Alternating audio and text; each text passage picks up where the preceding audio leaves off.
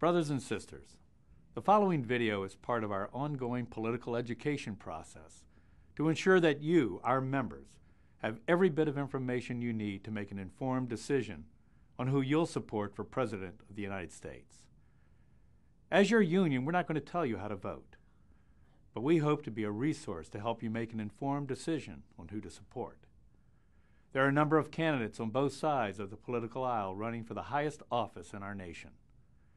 Our job is to inform you on their positions, on the issues important to our profession and you as firefighters. In the 2008 presidential race, one candidate is running on what he perceives as his 9 11 credentials.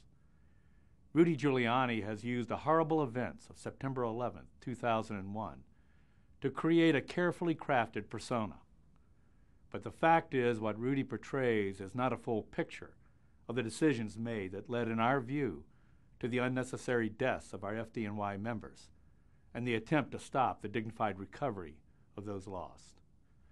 The urban legend of America's mayor needs to be balanced by the truth. The opinions in this video are not about Rudy's record on union issues, as some on his behalf have portrayed. The stories you are about to hear are not being delivered by an arm or extension of any political party.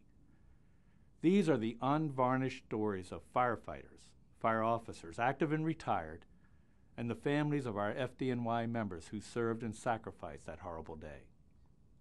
They paint a picture of Rudy that is remarkably different than the one he has painted for himself. Firefighters, their families, and this IAFF have an important story to tell you, and it's time to tell it.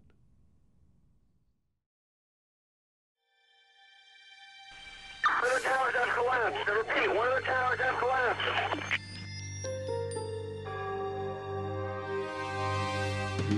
On his 9 11 leadership, and there was lacking and there was none. Whenever I hear him talk, I want to scream out to the world and say, God, he's so full of it. Because the buck stops at the mayor's office. Goes up to the top. You know, who's in charge here? Mr. Giuliani. They attacked us in 93. And yet, eight and a half years later, New York City firefighters, the greatest fire department in the world, we're using the same radios that we knew didn't work. We have remains of dead heroes out at the garbage dump because of Giuliani and his administration. And they're still there today, and they won't remove them. And this guy had politics and his image much more important than the needs of firefighters and their families. I'm a conservative. I'm a member of the NRA. I voted for Giuliani. But in this instance, he messed up.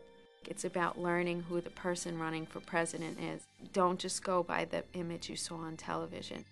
It's not the moral, ethical, or honest person that I feel should be the President of the United States in 2008.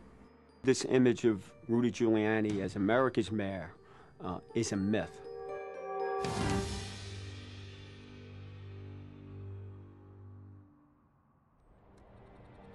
Rudy Giuliani's urban legend begins on February 26, 1993, when Al Qaeda terrorists bombed the World Trade Center. It looked like a scene from a Hollywood movie, but it was real. I tried to get on radio to transmit to the chief. This is very important stuff. I couldn't get out. I couldn't. I'm calling anybody that could hear me. Nobody responded. A 1994 report confirmed the radios didn't work, and Mayor Giuliani knew it. Yet Rudy and his hand-picked fire commissioner took seven long years to replace the defective radios with new defective radios. This was the first time that I used the new radios that we were issued, and it was at a working fire. At some point in the fire, the second due engine company, who was engine 305, a member on that line was separated from his line, and he transmitted a Mayday message for a member lost You know, a guy in a in a, in a cellar of a private house, and he's he's calling for, for, for help, uh, giving a mayday, and the units that are in the immediate area don't hear him, but yet units that are two miles away hear him. Something definitely, definitely wrong with that. Rudy's radios were pulled from service within a week. The city comptroller found that proper testing procedures were never followed and that competitive bidding standards were circumvented with a no-bid contract. He ordered them bogusly. He's supposed to go out to bid. They're supposed to be tested by the field units, and then they're supposed to give him their input into it. And if they think the radio is good, they would buy it. He didn't do that. You'd have to see how it works in a high rise, how it works in a tenement, how it works in a cellar, subcellar, uh, in tunnels. It would be tested in all these various areas. Uh, my est- estimation, what happened in, in 2000, 2001, none of that went on. At 9:32 a.m. on September 11th, Chief Callan ordered all FDNY members in the North Tower to the lobby. He repeated the command, but not a single company answered.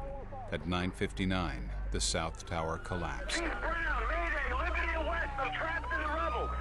FDNY's Chief Pfeifer then repeated the order for all units to evacuate the North Tower. Firefighters had 56 minutes after the first call and 29 minutes after the second order to get out. While all police officers left the building, 121 firefighters never made it out. That day, my son was working, and they didn't hear the call. 121 guys didn't hear the call in the North Tower to get out, and they and the police officers heard it because their radios worked, and ours didn't. The South Tower came down in less than an hour, and that was the point when the fire department had to say, hey, it's time to get out. They had 29 more minutes to get out of the North Tower. We lost those people for what reason? Because of lack of communication. Not a single cop was lost in that building. Why was that? Because they had gotten the word to get out. Our radios weren't working. Virtually, the whole thing goes back to him with the radios. He's the guy on the top, and he's the guy you yell at. He, he takes the hit. And my son is dead because of it. That's what firefighters should remember about Rudy Giuliani. He gave us nothing when we needed a life saving radio. Rather than take responsibility, Giuliani tried to blame the victims, telling the 9 11 Commission that firefighters heard their evacuation orders but disobeyed them. Their willingness, the way I describe it, to stand their ground. I find that despicable. My son was a Marine. If he had heard the order to evacuate, which he did not because the radios weren't working, if he had heard the order to evacuate, he would have evacuated. That is the most ludicrous statement that I've heard made by some people that the firefighters disagreed or, or ignored the, uh, the uh, command. Mayor Giuliani twisted the heroism of my brother to suit his own uh, mistakes of that day. The mayor who's claiming to run on 9 11 built his OEM center, his communication center, the basis for all decisions to be made on the site of the World Trade Center that had been attacked just eight years earlier. I mean, he's the one that made the decision to put their bunker in 7 World Trade Center. Which, uh, when I was down there on 9 11 that day, I've seen police detectives yelling in the streets that we told him not to put it here, you know, because that was the, the target of the terrorists. Seven World Trade Center collapsed at 5 o'clock that night, and the Emergency Command Center was never used that day. Mayor Giuliani was running on the street and he was talking to the media instead of being in a controlled environment making controlled decisions. Can't go to city. Why? Here is the leader of the city running away from the scene, leaving uniformed personnel from fire and police to deal with the tragic situation that was occurring. Firefighters began the difficult task of respectfully recovering the remains of civilians and their fallen brothers. But then gold belonging to the Bank of Nova Scotia was found and removed. Brinks truck spotted at the site. Is that the $200 million in gold? Yes, it is. I think we have most of it. I'm not sure we have all of it yet.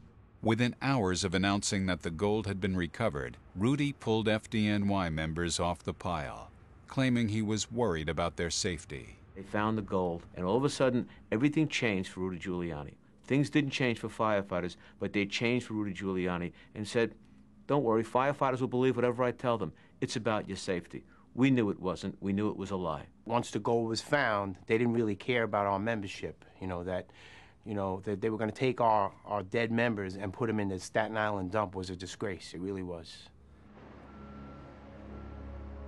When Rudy started his scoop and dump operation, just 101 FDNY members had been recovered.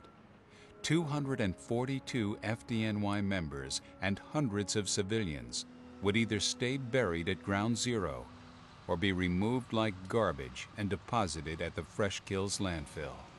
Scoop up the debris, dump it in a landfill. The heck with the fact that it was firefighters or others who would never have a funeral for their family. Families and off duty firefighters protested Rudy's appalling lack of respect. In response, Giuliani had them arrested. When faced with the public outrage, Mayor Giuliani relented and let FDNY members go back to work on the pile. I lost my son. He was in the Marriott. He was lost when the South Tower came down.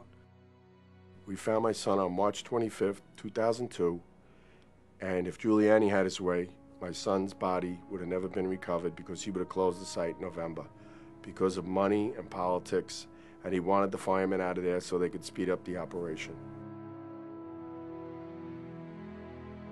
Remains were found, and it was a real relief to find those, rem- to, to know, you know, that he wasn't left down there and that he did come home to rest. We have no idea how he died in the towers.